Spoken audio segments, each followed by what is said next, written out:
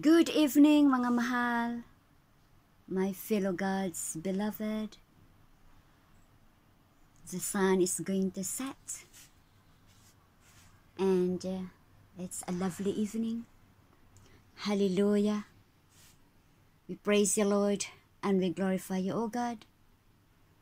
Thank you, Lord, for this wonderful time for me to be able to read God's word here in this cozy room with my chitties.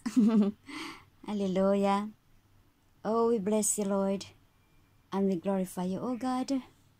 You are worthy of glory and honor and praise, Father.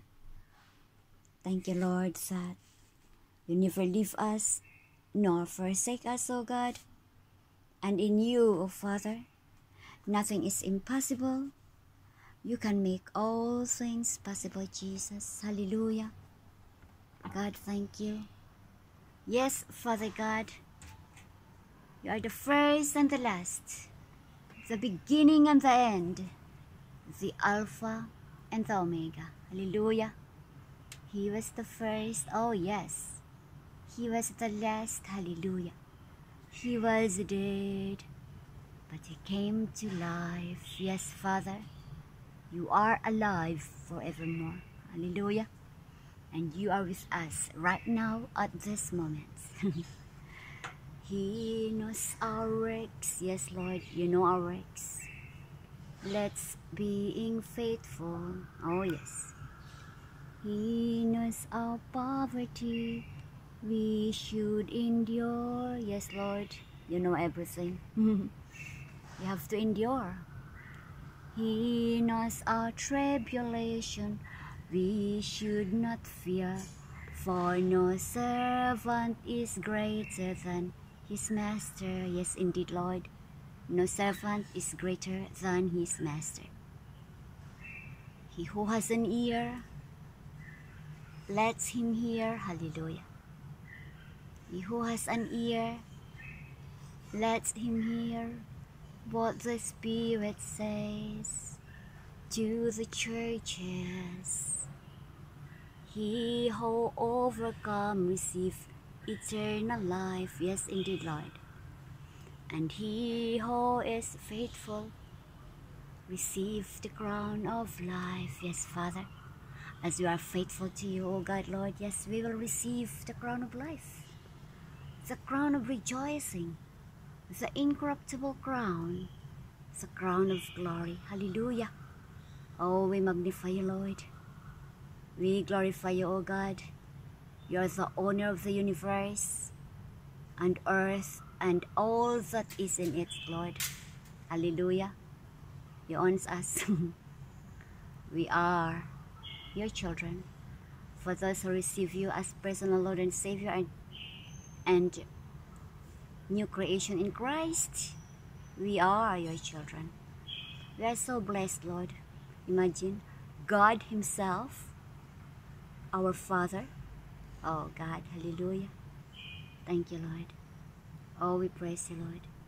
We glorify you, oh God, in the mighty name of Jesus, the name above all names. Father God, I pray for these houses, Lord that I'm looking right now right at the opposite mm-hmm. with the cross there Lord. Cover them with your precious blood that all the household in there may come to know you and receive you as the personal Lord and Savior. Father God these houses the household the people in there Lord and so as that side Lord. Hallelujah. Father God bless them oh God. And I pray that today Sunday July the 3rd, I pray that, Lord, the Holy Spirit is unlimited. I pray, Father, that people will come to know you and receive you as the personal Lord and Savior as the Word of God is being preached around the world. Because today, this time, right now, is the salvation of the Lord. Amen. Amen. Father God, thank you. Oh, yes. Thank you, Lord, for the cross, the mighty cross. Hallelujah. Thank you for the cross, the mighty cross. that God Himself would die for such as us. And every day we are changed into your image more and more. Yes, Lord, into your image. Yes, by the cross we are truly being transformed. We are so amazed and we give you praise. Yes, Lord, we give you praise that you will take us for such a cause. We are so amazed and we give you praise by the power of the cross. By the power of the cross. Thank you, Father. We praise you, Lord, and we glorify you, O God. You are worthy of glory and honor and praise, Father God, in the mighty name of Jesus, the name above all names. Amen. Amen. Hallelujah. Thank you, Father. Come, mga mahal. Let's continue on reading God's Word. Now, Father God, we acknowledge your presence this lovely evening. Precious Holy Spirit, the greatest power in the world, help us, teach us into all things, that as we read your word, Lord, in the mighty name of Jesus, the name above all names, who love us so very much, as we read your word, Lord, help us to understand, oh Father. Give us thy spirit of wisdom and revelation in the knowledge of you, O Father, as we read your word. In Jesus' mighty name, the name above all names we pray. Amen and amen. Thank you, Father. Hallelujah. God, kirara sanakateya. And before that, Lord, I pray, O God, Lord, that we want to receive you, Lord, as our personal Lord and Savior. Yesterday, we read in the book of Ezekiel, there was a hope for the exiled of Israel, and uh, right now, that you are true to your promises, oh Father God, that even right now, Lord, Israel now is one nation. Hallelujah. Last time, through the prophet Ezekiel, you have said, Lord, that therefore tell the exiles of Israel, this is what the sovereign Lord says, although I have scattered you in the countries of the world, I will be a sanctuary to you during your time in exile. I, the sovereign Lord, the sovereign Lord, will gather you back from the nations where you have been scattered, and I will give you the land of Israel once again. And so it is so true, Lord. You are true to your promise, and Lord, you are the God, the mighty name of Jesus, so it's true to your promise, and you are our Savior. And uh, Lord, as we come to you, Lord, we thank you, Lord Jesus, for dying on the cross for our sins, and we repent of our sins. Open our heart, Lord, to receive you as our personal Lord and Savior. Thank you, Lord, for giving for the forgiveness of our sins and giving us eternal life. Make us the kind of person you want us to be. In Jesus' mighty name we pray. Amen. Thank you, Father. Hallelujah. Oh, yes, Lord. Indeed, Father God, because, Lord, it says here that the Lord is saying that I am knocking at the door of your hearts, and anyone who hears my voice, who listens to the word of God, who hears the voice of the Lord, and uh, opens the door, I will come into him. If you open the door of our hearts receive him as a personal Lord and Savior, then he will come into us. Amen. Amen and as we receive him but as many as received him to him he give he, he give the uh, to him sorry but as many as received him to them he give the right to become children of god. Amen. Hallelujah. And for those who are who received therefore if anyone is in christ we are now in christ because we receive the lord jesus if anyone is in Christ, he is now a new creation. All things have passed away, and behold, all things have become new. Amen. Thank you, Father. It is in 2 Corinthians chapter 5, verse 17. Hallelujah. Yes, Lord, we are now new creation in Christ. Amen. Father God, as we partake the bread and the cup, Lord, hallelujah. Yes, Lord. We remember you. We do this in remembrance of you, Father, of what you did on the cross for us. Thank you, Lord, for the forgiveness of our sins. In Jesus' mighty name we pray. Amen. Thank you, Lord. Hallelujah. Thank you, Lord Jesus, for this cup of the new covenant, for the forgiveness of our sins, Lord. Hallelujah. And for our protection also, Lord. We are protected from any disease and sickness, from COVID, Lord, from dengue, from Omicron, whatever it is that is happening around the world that is not of you, Lord. We are protected. Thank you, Lord Jesus. Amen. Thank you for your precious blood. Hallelujah. Thank you, Lord. Amen. It says here that July the 2nd. Today is July the 3rd. Yesterday we didn't read this. Now let's read. It says here that July uh, this, the, the 2nd, July the 2nd. It says here, For anyone, for anything worth having, one must pay the price. And the price is always work, patience, love, self-sacrifice, no paper currency, no promises to pay, but the gold of real service. And I must also add in real love as well. Amen. Hallelujah. Yes, Lord. Love. Amen. Thank you, Father God, for your love us with an everlasting love. Amen. Hallelujah. We love you, Jesus. And also, maybe we should read this. Hallelujah. Before we pursue on reading book of Ezekiel, uh, let's read this. We always read Psalm 91. I think let's read another another book. Hallelujah. Thank you, Father. Oh, sorry. There's another chapter. Let's read the chapter 90. The eternity of God and man's frailty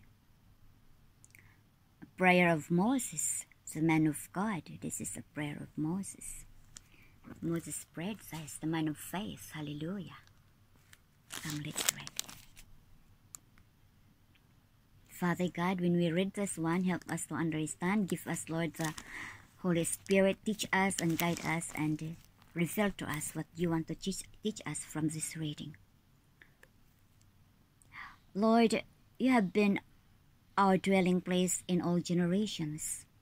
Before the mountains were brought forth, or ever you had formed the earth and the world, even from everlasting to everlasting, you are God.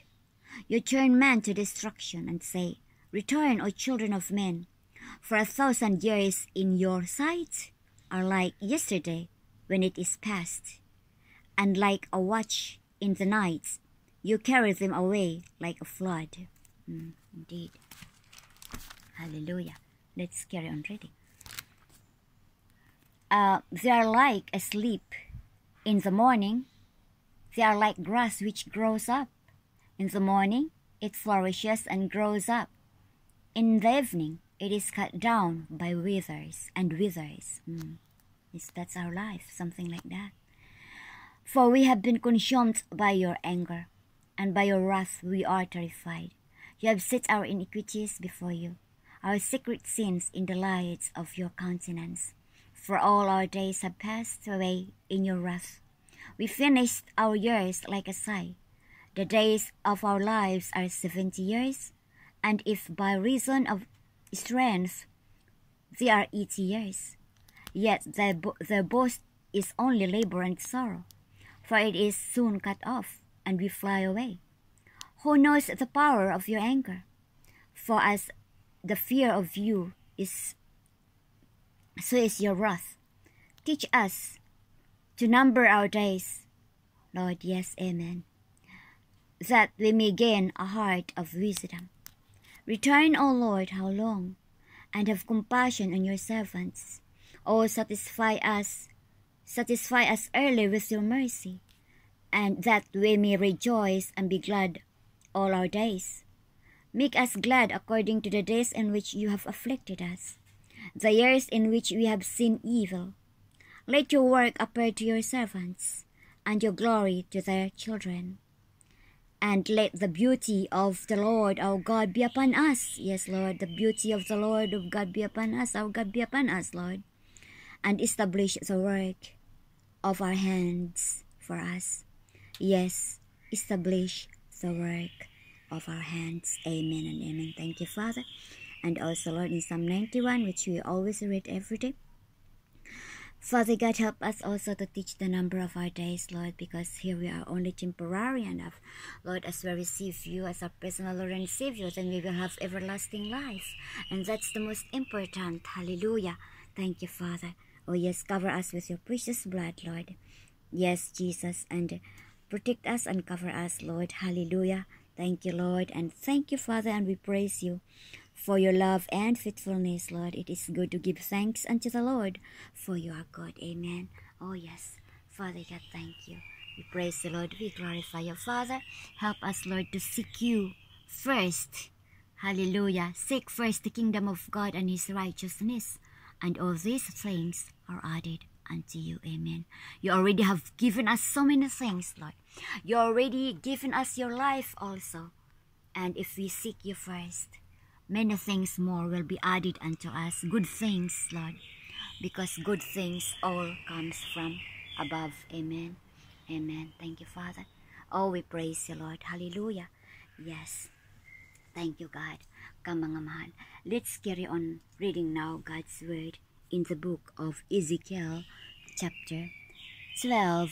Now we will be pursuing on verse 21 because yesterday we read 12 until uh, the verse, uh, yeah, until the verse 20 of chapter 12. Now we will be continue on reading chapter 21. Hallelujah. Precious Holy Spirit, our teacher and who is with us right now, teach us as we read. In Jesus' mighty name we pray. Amen. Thank you, Father. A new proverb for Israel. Again, a message came to me from the Lord, Son of man. You've heard the proverb that quotes in Israel.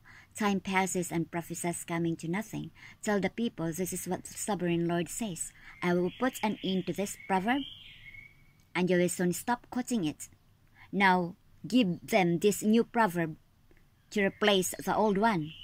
The time has come for every prophecy to be fulfilled indeed. Amen. It's true. Every prophecy to be fulfilled. You even fulfilled now the nation of Israel. They scattered and now they are in one nation. You fulfilled already, Lord, now. In our, in our time, in my time, hallelujah. You already fulfilled it now. Thank you, Father. Your words are so true. There will be no more false visions and flattering predictions in Israel. For I am the Lord. If I say it, it will happen. Amen.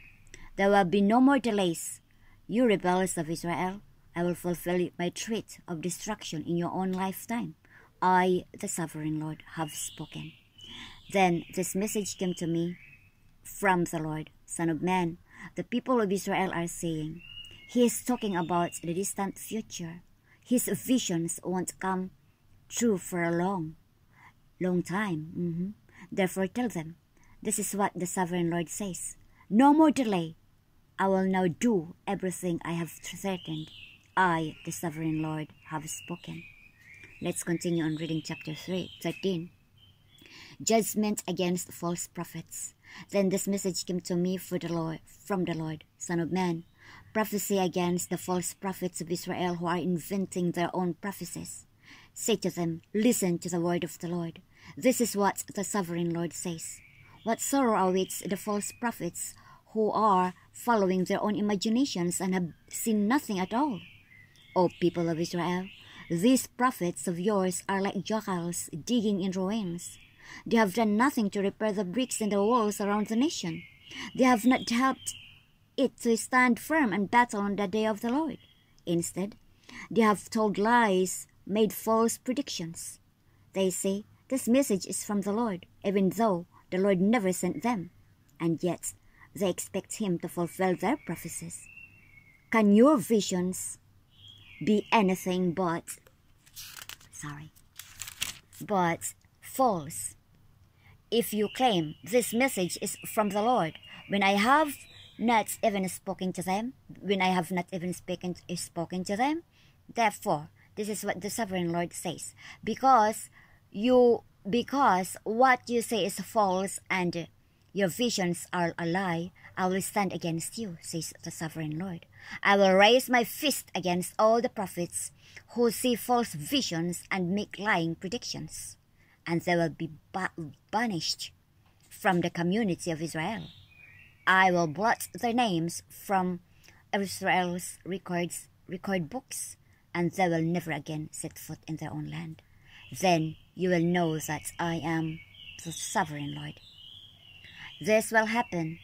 This this will happen because this evil prophecy deceived my people by saying all is peaceful when there is no peace at all.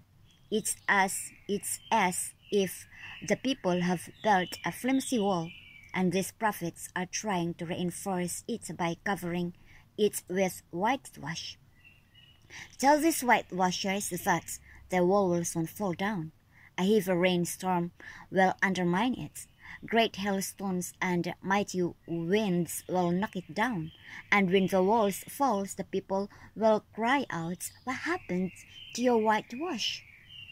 Therefore, this is what the sovereign Lord says. I will sweep away your whitewashed wall with a storm of indignation, with a great flood of anger, and with hailstone of fury. I will break down your wall right to its foundation, and when it falls, it will crush you. Then you will know that I am the Lord. At last, my anger against the wall and those who covered it with whitewash will be satisfied. Then I will say to you, The wall and those who whitewashed it are, are both gone. They, will, they were lying prophets who claimed peace would come to Jerusalem when there was no peace. I, the sovereign Lord, have spoken. Father God, thank you, Lord, for your word. Help us to understand more, Lord, as we reflect and read again. Give us the spirit of wisdom and revelation, Lord. Reveal to us. Hallelujah. Thank you, Father. And indeed, yes, false prophets will never stand, but the true living God's words will. In Jesus' mighty name. Thank you, Father God, we pray. Amen. Thank you, mga mahal, for reading God's love letter with me. May the Lord bless you and keep you. May His face shine upon you and be gracious to you. And always remember that Jesus loves you. Have a good night's sleep tonight. And always remember that God gives His beloved a good sleep. Goodbye. God bless and take care. Let's read again tomorrow. Bye.